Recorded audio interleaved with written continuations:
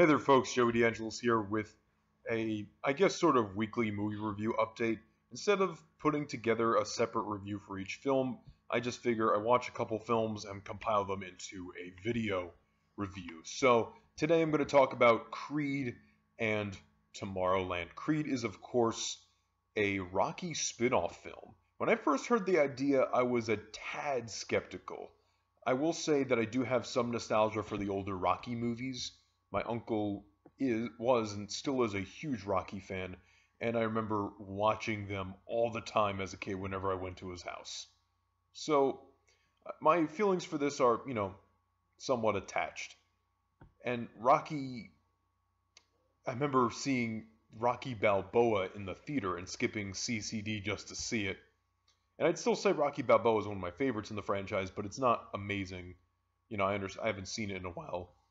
Uh, I got to revisit all those older Rocky movies. But anyway, so we get this new update directed by Ryan Coogler, who's of course involved in, not involved, but you know, directed Fruitvale Station, which received overwhelmingly positive reviews, and also starred Michael B. Jordan, which this film stars as well. You might remember Michael B. Jordan from Fan Four Stick, but the less said about that, the better.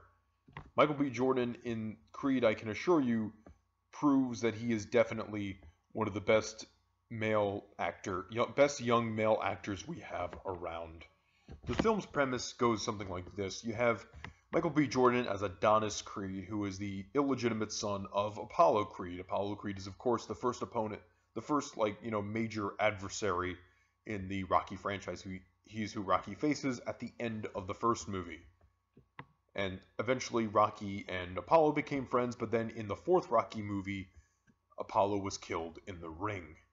Adonis has is kind of obsessed with boxing at this point and wants to train to become a boxer. So he wants to learn from the best. And the best is of course Rocky Balboa, of course played by Sylvester Stallone. People were skeptical because, you know, as of late Sylvester Stallone has not has not been in the best performances or best movies, you know, Escape Plan and all that other nonsense. But in this film, I can guarantee you, definitely Stallone is suitable for the older trainer character, and definitely his best performance in years. And I dare dare I say it, it's good enough for a possible Oscar nomination. What I really like about this film too is the music. The music is rather distinct from the Rocky movies, but also there are, uh, of course, some musical cues from the earlier movies. But what I like about it is I'm not being drilled the Rocky theme every five minutes of the movie. They could have done that, but they didn't. And it just, it felt fresh. It felt new, but it also, I felt an overwhelming, you know, urge of nostalgia and I definitely have to say, you know, I mean, they're two different types of films in many ways, Force Awakens and Creed.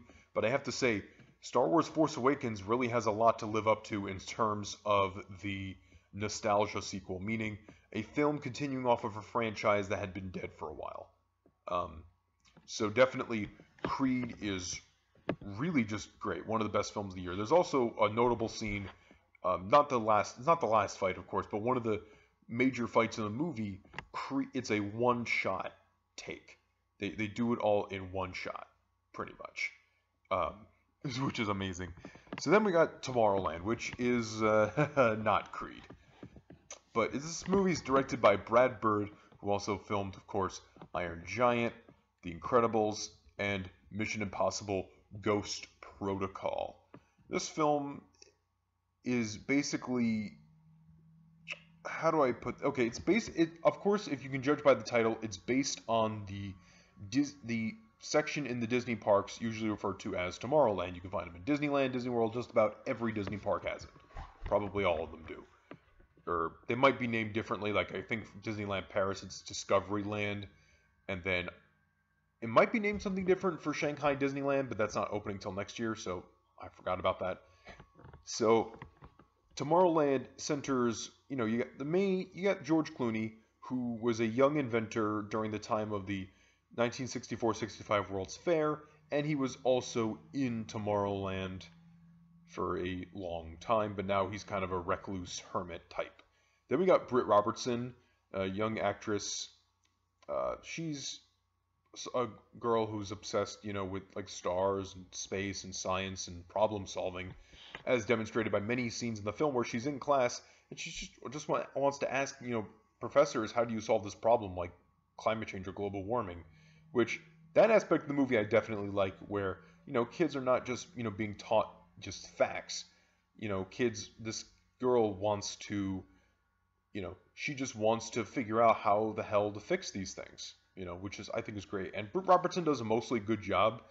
Uh, there are certain moments in the movie where she screams one too many times, and it was in like a like a section of the movie, and it got really really annoying. Um, but other po- other things about the movie, well, she finds a Tomorrowland pin, apparently given out the World's Fair, which kind of lets her transport to Tomorrowland uh, there's a big conspiracy going on in the movie that I don't want to spoil, but I have to say the first half hour of the movie was the best part of the whole movie where young George Clooney is at the 1964-65 World's Fair, and I'll spoil this little thing. He goes on to It's a Small World, and then it basically, you know, it, it like the the ride takes a dip, like you would in Pirates of the Caribbean, and he goes into the world of Tomorrowland, which is awesome because the movie goes from being Tomorrowland to Small World to Pirates of the Caribbean to uh, Tomorrowland, which I think is kind of neat. But otherwise, I'd say it's not one of Brad Bird's best movies. Definitely, I would say probably his weakest, most likely. I think the visuals are really cool here and there. I just didn't really get attached to the story or many of the characters or the dilemma that's revealed at the end of the movie. One of the cute Easter eggs I will say is that the there are quote unquote robots in the movies, in the movie, and they are referred to as AAs, audio animatronics. Audio animatronics is, of course, the term used for the robots that you see on Disney rides. So when you go on, like, It's a Small World or um, a lot of the different rides in Disney World, those are audio animatronics. So I thought that was kind of amusing. But yeah, Creed, definitely check it out. While it's in theaters, definitely supported the box office.